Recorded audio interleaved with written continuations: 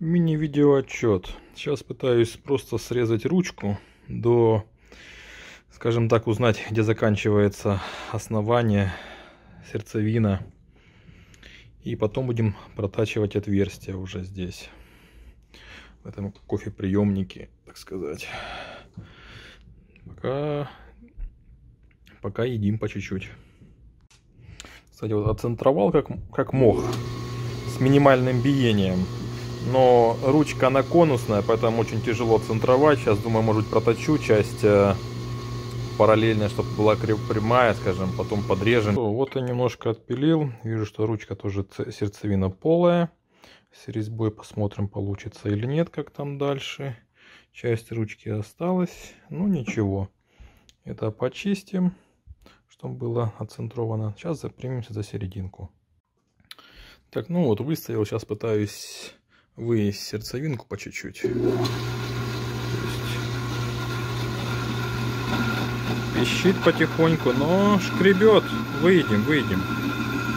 Все будет замечательно.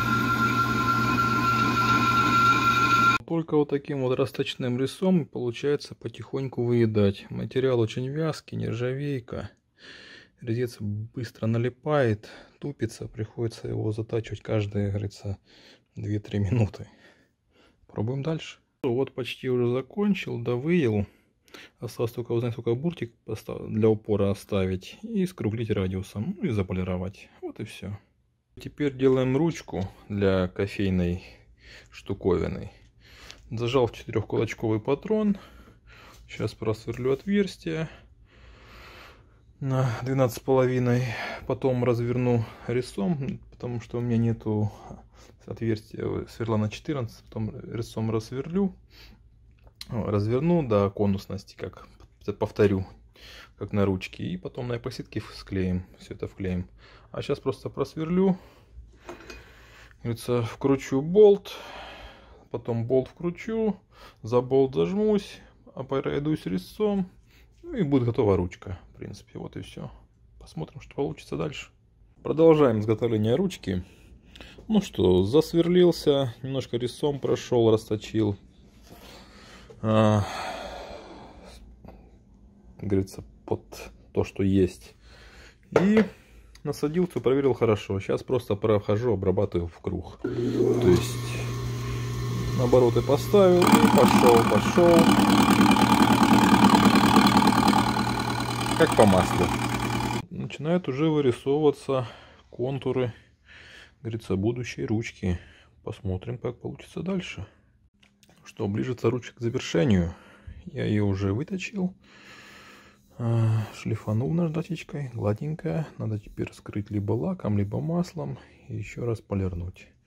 Ну и отрезать, конечно же. Ну, получается очень замечательно. То вот, в принципе, законченное уже изделие.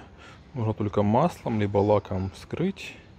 И можно использовать уже. Все.